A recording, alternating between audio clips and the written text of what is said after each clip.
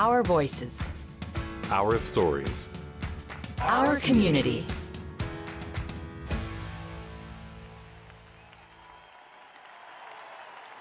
A new mosaic.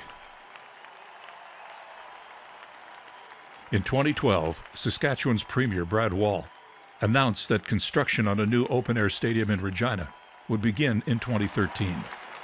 This is a very historic venue for football in North America. Lots of great memories at this particular facility. But I think if you climb the stairs and seen the concourse and experienced all there is to experience here at Mosaic other than the football, we know that the status quo is not on. I'm pleased to announce today, on behalf of the province of Saskatchewan, that together with our partners, the City of Regina and the Saskatchewan Roughrider Football Club, and all of their respective corporate sponsors, and all of you, Rider Nation, that we will begin construction on a new 33,000 open air stadium in 2013. The massive undertaking would take nearly four years to complete and involve several key personnel, including Mark Williams, a principal with HKS Architects. It actually started, uh, a couple of us from HKS came up very early on, uh, came to a couple games, and soon after that, we uh, entered a really international competition. And it was us and a couple other firms at the beginning that had to go through a process to win the project. So we went through a pretty lengthy series of meetings here in Regina, and at the end got selected as the design firm with PCL as the contractor to do the project. I'm Mark Sylvester, Coordinator Social Inclusion, the Community Services Department, City of Regina. It started for us with the community development approach and building strong relationships and using strong processes to engage the community and re-engage the community. We first started that process in 2014 um, where we had a public meeting. We invited 14 accessibility organizations, the riders, Evraz, the consultants, architects, uh, season ticket holders, and general residents, uh, 45 people we heard feedback from the community and laid the foundation for us moving forward for the next three years. My name is Daryl Stubel. I'm the Executive Director for the Office of Disability Issues for the province of Saskatchewan.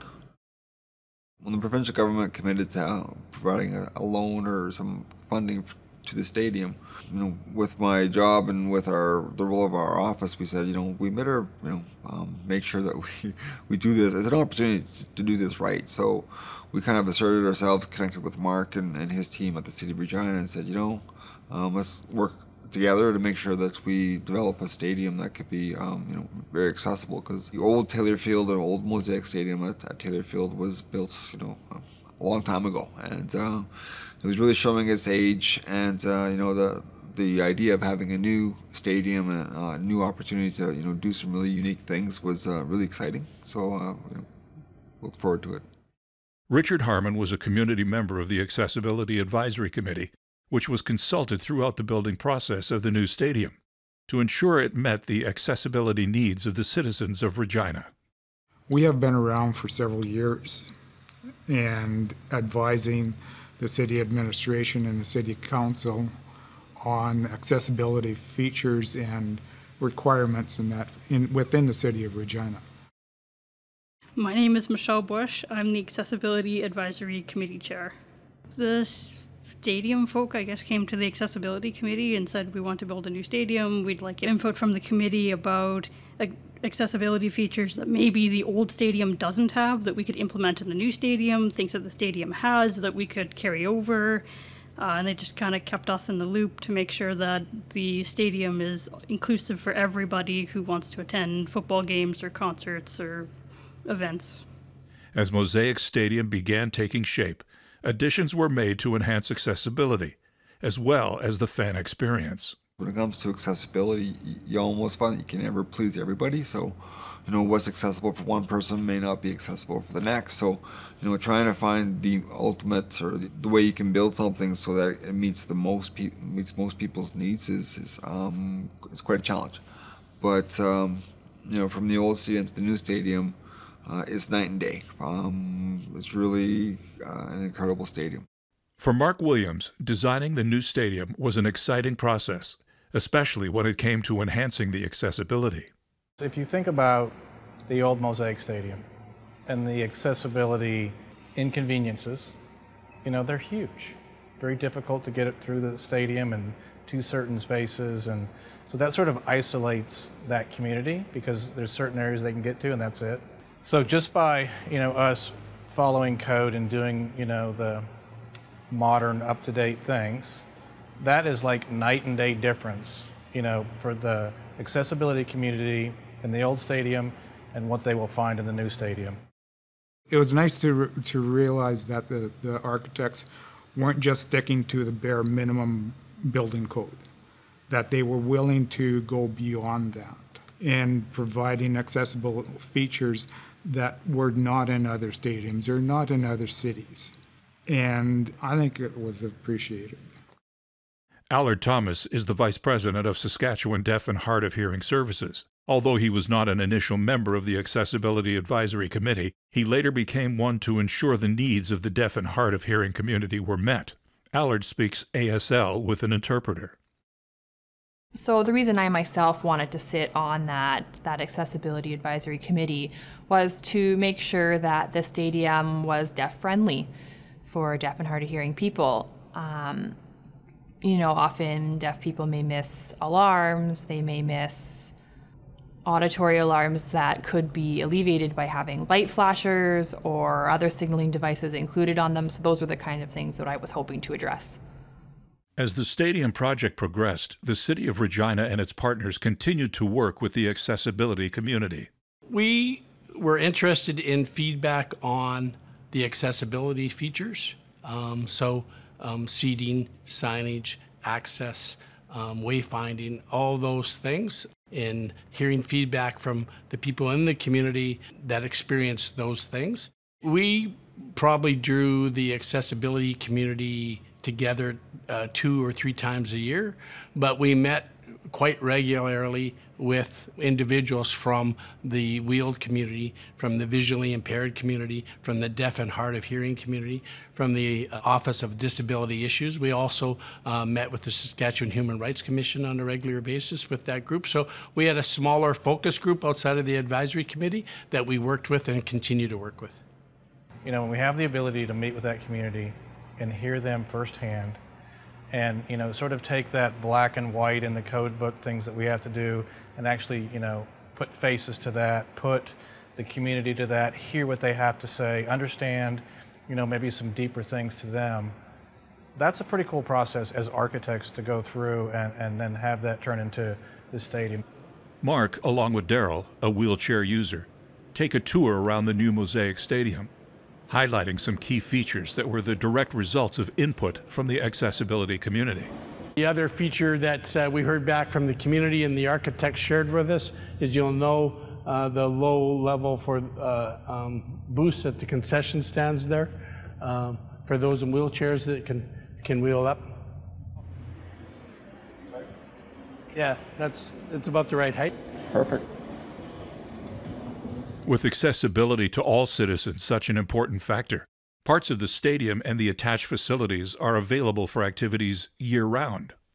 There are spaces throughout the stadium that are 365 days a year. Um, community groups probably use the stadium as much or more than anyone in terms of grassroots soccer, grassroots football, high school football, junior football teams. So from the sport perspective, but the spaces eh, you know uh, are adjoined to Confederation Park. Um, there's opportunities to have all kinds of events, and there's been lots of events that have occurred since the stadium's open, and even before the stadium's open. Our community will return after the break.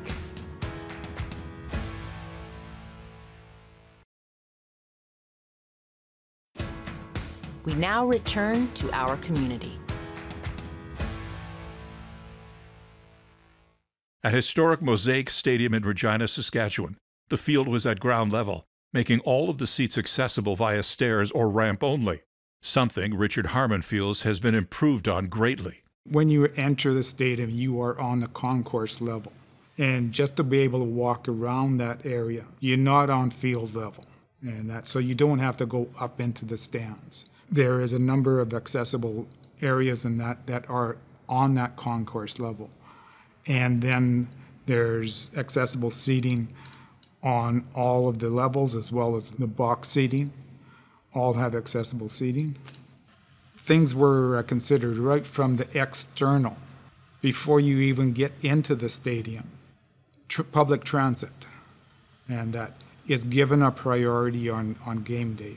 It is one of the most convenient ways of getting to the stadium. There's accessible parking for people with uh, who are driving and need to be close to the entrance. Jennifer Cohen has been attending Saskatchewan Roughrider games for over 40 years. As a power chair user, she sees the new stadium as a major upgrade. I'm a long time Saskatchewan Roughriders. The uh, new Mosaic Stadium, I think, is about anything you can get in a stadium. I think it's as good as it gets. For Greg Whittemore, a senior vice president and associate principal at HKS Architects, the entire design of a stadium hinges on everyone being able to enjoy an event. Accessibility is it's part of code. It's it's required. It's part of everything you look at in a building has been thought about from how hard it is to open a door or being able to access those doors. I noticed that every door in this stadium is a lever handle. Right. Again, another small detail. Well, yeah, exactly. There's no doorknobs um, in the stadium at all. As Mark Sylvester and Daryl Stubel continue to move throughout the stadium, Daryl notices the gate to the entrance of the accessible seating. You always get people who kind of just mull around the concourse, right? They want to get up and stretch. Having this kind of gated off the way it is, a really good idea because people just start pushing closer and closer. And so if you wanted to grab a beer or something like that, having this um, right. eliminates that problem. Having the ability for everyone to see the game is critical. And so if you, if you look around the stadium, you'll see those in every portion of the stadium. There is some sort of uh, wheelchair seating area for those patrons to be able to see not only see the game, but when the rest of the crowd is standing up and, and cheering, that they're not sitting behind somebody. They can actually see over them and still see the game. So it's very critical uh, that the entire design of the stadium is always thought about from accessibility standpoint. And if you notice as you go through the stadium, each level is a different color. And so even if you're slightly seeing impaired, that by the color, you'll know which level you're on. Throughout the design process, we met with the accessibility community here right, right in Regina. They knew what they had at Old Mosaic and how they wanted to fix it. So we listened to them and we incorporated a lot of their ideas into the stadium design. For Mark Sylvester, the improvements in the new stadium are numerous. 70% of the seats are at grade level. Power exists within those accessible seats. Our wayfinding system, we have added nine elevators, power assisted doors throughout, so the final path of destination helps. We have nine accessible uh, universal inclusive washrooms that are signed to all gender, but also for the community use. And one of those washrooms has an adult lift and, and change table for those with disabilities that have that need. The inclusive washrooms are, uh, this size worked out really well, huh, Daryl? You can have a party in here if you want. There's huge. One of the things is, is that uh, we've learned through the test events, and it worked out really well, was that uh, power chairs do vary in size. It's passed the test.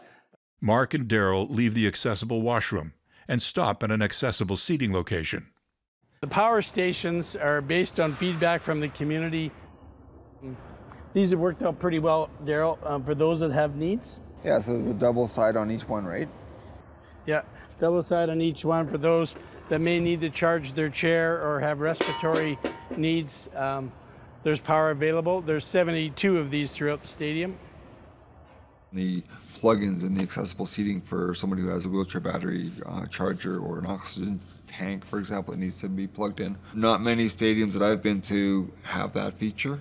I, I, think of some of the universal accessible washrooms, and it's not just you know for the individual, but sometimes people will have um, uh, some assistance with them, and it's you know it's, a male with a female or vice versa.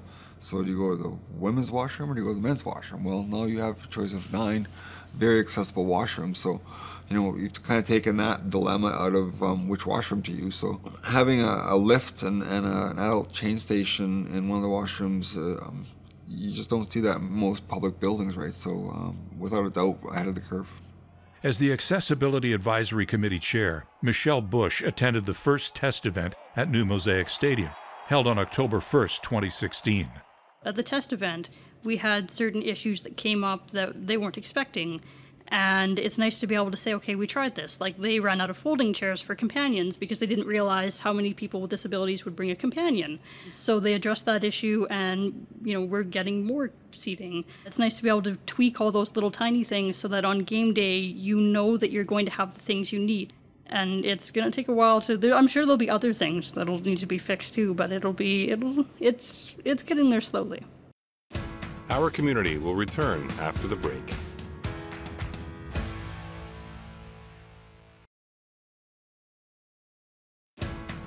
We now return to our community.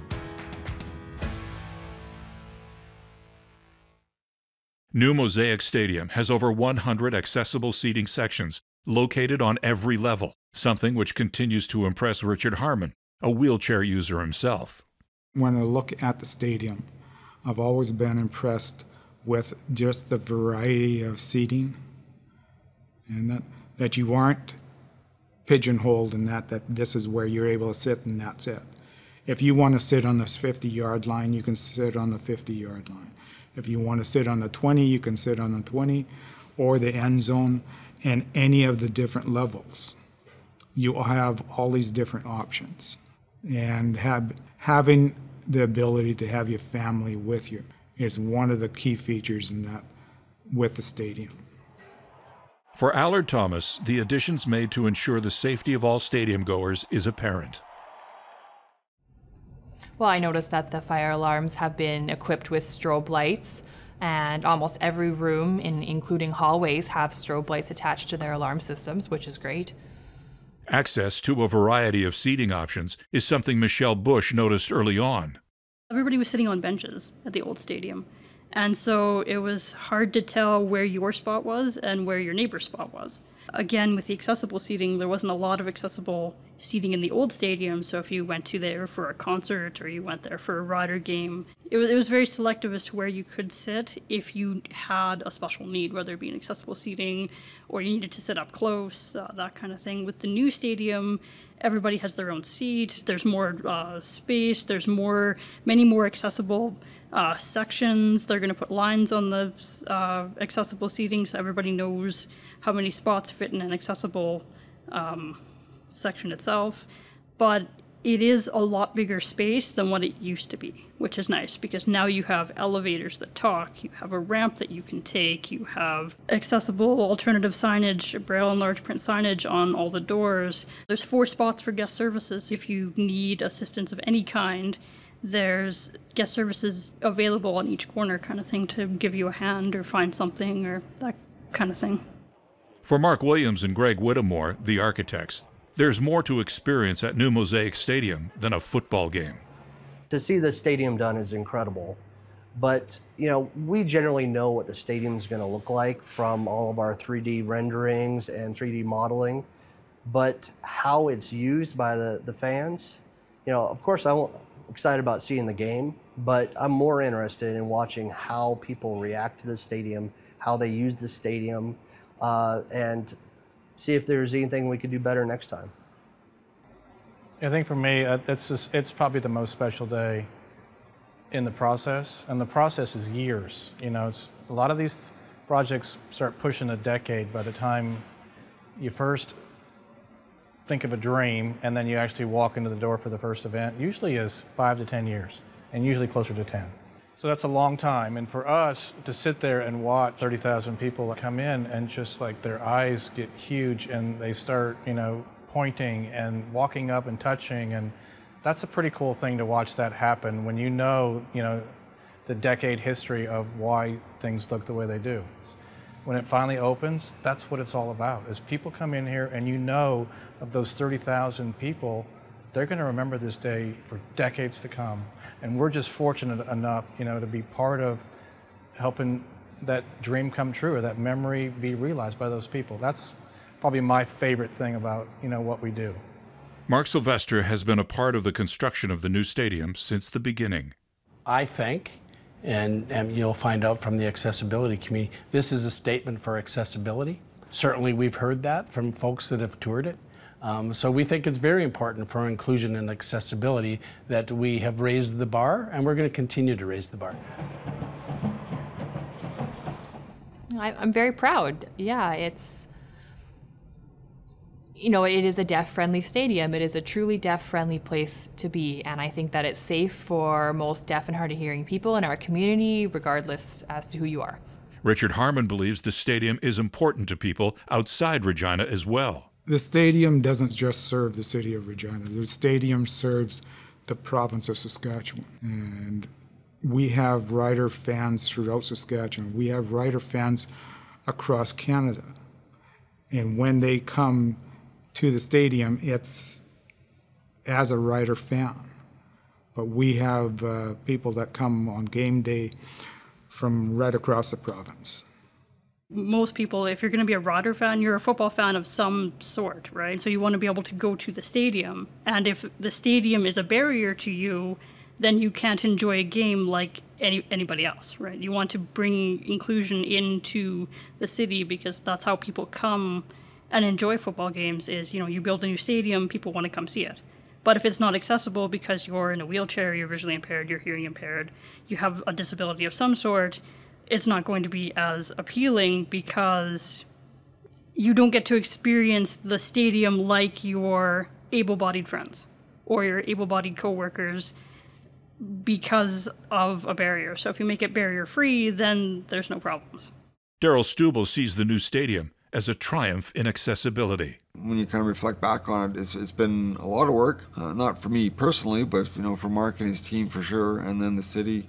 You know they, have done an amazing job, and I think you know the, the, this new stadium is like a beacon for for accessibility that everybody should be, be proud of. Producer Adrian Halter, director DOP Adrian Halter, camera operators Mark Beatty, Terrence Snell, sound recordist Terrence Snell, editors Adrian Halter, Andrew Antonello. Sound engineer Dwayne Kemp. Narrator Jim Van Horn. Special thanks City of Regina, Nathan Morrison, Dave Slater, Accessibility Advisory Committee members. Additional footage provided by the City of Regina. Integrated Described Video Specialist Emily Harding. Audio Post Bruce Baclarian, Achira Karinde, Mark Phoenix, Santiago Moffat. Director Production Karen I. Director Programming AMI TV Brian Purdue. Vice President Programming and Production John Melville. President and CEO David Errington. Copyright 2017, Accessible Media Incorporated.